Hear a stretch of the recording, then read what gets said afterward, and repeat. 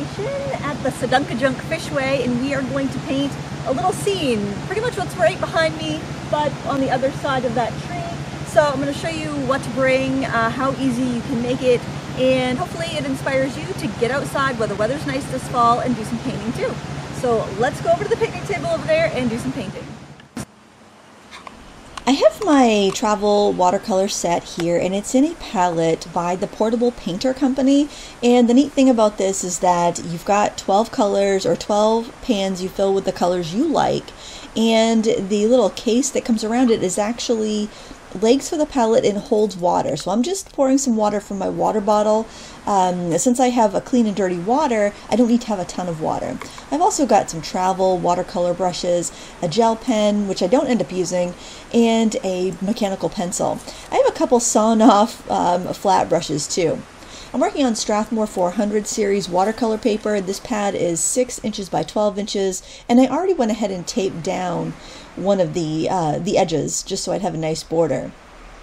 I'm doing a quick sketch of the um, of the waterway. Um, I just wanted to get some basic kind of a map of the scene out. I realize it's real light, but you'll be able to see the uh, sketch better as I start to paint. I just wanted to kind of uh, lay everything out so that when I went in with the watercolors, I wouldn't have to correct too much. Um, I don't like to put too many lines down, just a little bit. And I've got my trusty um, painting assistant here with me. I'm going to start by wetting the sky area and I typically don't work upright but um, just to make it a little easier to film I do have this on a little table easel and I'm lucky that the area where I'm working has a picnic table. If not I would have been just kind of sitting on my bag that has a stool built in and I'd have this on my lap. So um, do whatever's more comfortable for you. This is ultramarine blue just on its own. Uh, there's such nice crisp blue skies with just a little bit of like a wispy white cloud today. Generally in the autumn you have bluer skies. I think it's because there's not so much humidity in the air. I'm also grabbing some of that color and putting it into the stream where I see the water reflected. Now this stream is actually, um, it's very marshy and it feeds out into a larger pond which then feeds out into a larger lake, but this area is actually um, very weedy and marshy and you just kind of get these little slivers of reflection and that's what I'm trying to capture here. Since I have my sketch on my paper, it's really easy to uh, be able to throw in reflections here and there. It just gives me a really nice guide. So even though it looks like a pretty rough sketch, it's actually quite helpful. There's no need for your sketch to be beautiful on your paper. It just needs to be informative and to uh, give you a good idea to where everything goes. And that's something else I want to talk about painting in plein air or outdoors is that you're probably not going to get as refined of results as you would if you were sitting in your comfy studio with all of your tools and trappings around. But you will get a very accurate um, depiction of color, and you'll also have a better sense of the um, the place where you're painting. Your memory of the place will be much better. So if you're going to go and work from photos later, you're going to have a better um, a better sense of how things actually looked with the light. Now the light did change as I was working over that course of a half an hour, but um, you know, once you start down, you start mapping things out, you can keep pretty consistent. If you do decide to change something like in the in the trees and in the scenery, you will have to be mindful of the reflections. So just make sure that um, if you started painting reflections and then you finished painting your your subject, just make sure that your reflections match. And if they don't, then um, then you can adjust just by seeing, you know, just looking and seeing how things changed. Uh, I like to rely on what I really see for reflections and I try not to guess because depending on the angle you're at, the angle that the, the sun's at, um, the elevation that you're standing or sitting at, they, all these different things have um, can affect how the reflections look. Now these trees far in the back, I'm trying to make them a little bit cooler and muted, so I used some uh, hooker's green and some ultramarine blue just to get this kind of dull, cool green. And into that, I'm adding some yellow ochre and um, some uh, gamboge for a warm yellow. I'm going to list the colors that I have in my travel palette in the video description. I choose colors that are non-toxic because when I'm painting out and about, I do tend to dump my dirty water. Now there's such a minuscule amount of pigment in that water, but still, I want to be mindful of the um, of the nature around me, and I want to make sure I'm not going to be adding anything that could harm it. Uh, it was really cute while I was painting here, there was a little chipmunk that was kind of darting around the table because its little um, its little hole in the ground was in front of the table, and so it kept coming out and getting acorns and coming back with really fat cheeks and then hopping back into its hole to store them away for winter. I wish I had an extra camera that I could just have grabbed and gotten um, video of him, but I probably would have spooked him. He was not very shy with me just sitting there painting, but uh, that's neat. That's something you're not going to find in your studio. At least I hope you're not having chipmunks running around your studio anyway. I wanted to make sure that I got the texture and these muted colors far back in the scenery because it adds depth and it um, kind of um, sets the scene and fills it up so you can see that it's really a very pristine area. There's you know no buildings. There's um, nothing but wildlife here, nature, and I just wanted to make sure it felt like you were in this stream, like you were you were there and you weren't being um, uh, harassed by any man-made buildings or anything. It's just such a beautiful natural place that I wanted to capture. I also am using my paint to reserve some of the highlight areas.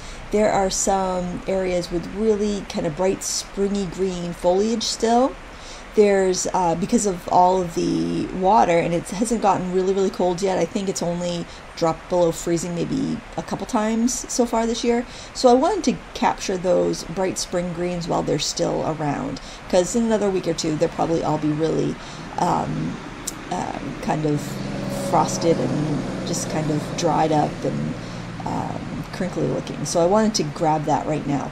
This week here in uh, this part of Maine, which is uh, kind of mid-coast area, is peak foliage season. So it's just so gorgeous, and I love to get out this time of year.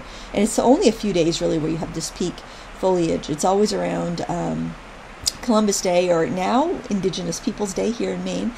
And it's a, just a gorgeous time to get out and uh, and look at the leaves if you're around here. Uh, the real popular places in Maine are crowded like crazy, like Acadia National Park.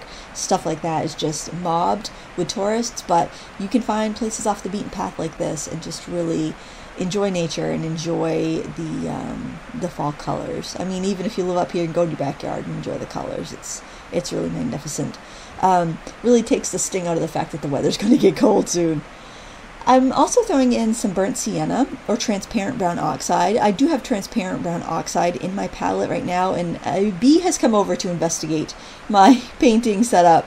Um, I think it's because I probably have a, uh, a brand or two of paint that has uh, honey in it. Um, I'm just going to list the colors. I'm not going to be brand specific because I have refilled this palette so many times, and um, you know I find any any good quality brand of watercolor paint is going to be good and you just spied me using a credit card scraper to scratch in some of the little details at the shoreline, those little re- uh, reeds and grasses that um, that kind of grow out right next to the water. Now I know I wanted to keep some nice crisp red. I'm using a mixture of um, quinacridone rose and vermilion, or actually it's pyrrole red, which is a nice warm red. I'm using a mixture of those two to get my reds in there, and then I am dabbing in some greens around them. And green and red are opposites, so when you put them next to each other, they make each other appear to be more vibrant. If you mix those two colors together, you'll get more of a brown neutralized dull color. So that's a neat thing about complementary colors. Um, they're opposite on the color wheel. They make each other look brighter, but if you mix them together, they neutralize. They make a natural shadow. So file that away if you didn't know that already. Uh, file that away because it's very useful when you're making natural shadows for things. Now I had to tip my paper up a little bit and you can see the sun is out now. The sun is really bright. Um, I needed to get a nice crisp uh, darker reflection and shadow at the bottom of the water line here where it's casting this direct reflection and uh, making the, the, water appear darker and I also wanted to break apart the kind of um, foliage in front of the trees because it's kind of dark at the base of the trees, but you've got this brightly lit foliage underneath. So I'm using some darker color to break that up. And then the credit card scraper again to get those little details of shrubs and weeds and whatnot. And now that it's back on my easel, um, luckily my paper is shaded because if my paper was in the bright sunlight, it would my eyes would be so tired and it would be really hard to get accurate values. And I find that if you press really hard with a credit card scraper or the back of a paintbrush handle, you can squeegee out the paint and get some really nice like birch tree trunks in there, which um, to be honest, I didn't really see birch trees over there, but I wanted that spark of white, so I left it that way. I do put some darker tree trunks in later, but um, sometimes you got to add a little bit um, from your imagination and your preferences to uh, enhance a picture. And there are birch trees around here, so it, it's all good. It works. and I realized that my foliage in the background needed to be a little bit darker to push it back, a little bit darker and cooler, and so that's what I'm doing there. And now I am just carving out the trees that are on the left hand side of the stream. Now I did compress the scene a little bit. I do tend to do that a lot, um, and I know that's I, I, because I wanted stuff from both sides in the um, in the composition, and I also wanted to get that zigzag of, of water reflection going. So, um, you know, sometimes you alter things a bit. And also, one of the reasons I pulled the trees in a little bit there is because when I put my reflections down, I wasn't very, oh, I didn't pay attention to my sketch.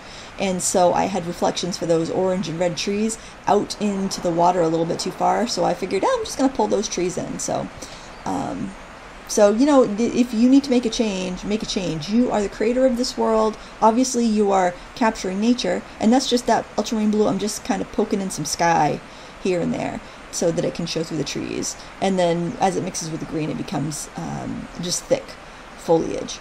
This is the Sedgeunkedunk Fishway in Orrington, Maine, close to my uh, home. It's um, actually I should do a little plein air workshop there because that would be perfect. It's a great little place you can grab pizza like right around the corner. If you follow that path we were walking on at the beginning of the video, it takes you to a great pizza place. I'm telling you, man, man, the light, the way life should be, guys. You've got this, and then you got pizza right around the corner. Can you beat it? I don't. I don't think you can. I really don't. Well, you could beat it if the, if there wasn't so much darn cold weather and snow in the winter. but some people like that. So, um, so hey, I guess uh, I guess that's okay.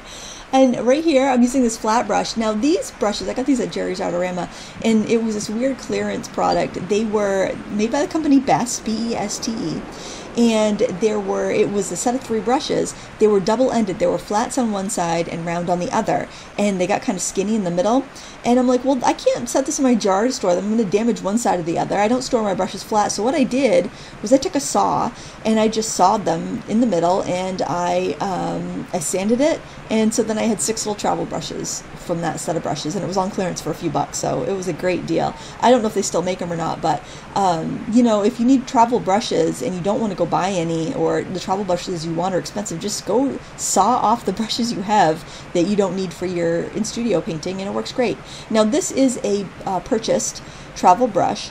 Um, this is one of the pseudo sables from Cheap Joe's, and uh, honestly, I have to say the number 12 round. This is number four. I grabbed the smaller one just because I was doing smaller branches, but the number 12 round that I used at the beginning of the video actually has such a razor sharp point it will do pretty much everything that the whole set will do. So I would recommend just buying the number 12 round because it's got such a great point on it if you're looking for a travel brush. The uh, cap extends the brush so it's like a regular length, but then it protects the tip of the brush in your bag. So um, as long as you're careful to put the brush tips on, the brush covers on, they work fantastic. Um, but since I had the other extra sizes, I figured I might as well use them. Now I'm putting a few little lily pads in the uh, water towards the foreground a bit because I like to do some detailed work closer to the bottom of my paper because if it's closer to the bottom of my paper, it's closer to the viewer. The further away from the horizon line you are, the closer it is to the viewer. So by putting in some crisp details here, like these little reeds, the um, lily pads with their little shadows next to them, and I'm going to put some other little grasses in there. It just gives you that sense of depth and scale, and that's why you know some paintings look flat because they lack that, and then some paintings seem to have, even though they're small, they have a lot of depth. Like I've got the those far away cool um, foliage way way in the background, and then I've got these sharp uh, grasses and weeds in the foreground, and that just helps give depth to the scene. Now I could go in with a white gel pen and add some sparkles in the water, but really, um, it wasn't really that. The water wasn't like glistening like that. It wasn't sparkling, even though my dog was actually uh, playing in the in the boat launch area and making some little ripples. You really couldn't see it so far, um, this far away on the um, on the painting. And now that I'm done for the day, I'm going to clean up my palette. I'm just going to wash my brushes in the clean side of the water so that I can put them away because my I always wash my brushes in the dirty side then use the other side for clean water and now I'm just dipping a rag in some clean water and wiping out my palette so it'll be ready for the next time I go to paint. I don't save my mixes because the chances are I need the same mixes again are very slim and then I just wipe out the inside of the buckets and close it up. I really love this palette. It's my favorite travel palette. It's just so handy. And then you can put in whatever you want. And uh, I've got this little wallet that my little travel brushes come in. If you decide to get the full set, that's what it comes in. But honestly, the number 12 works fa fantastic. And uh, yeah, put everything back in my bag, and I was ready to go. So it doesn't have to be a big ordeal. You know, you could take, you know, your lunch hour and take like half of your lunch hour and go do a little plein air painting somewhere. It's just handy.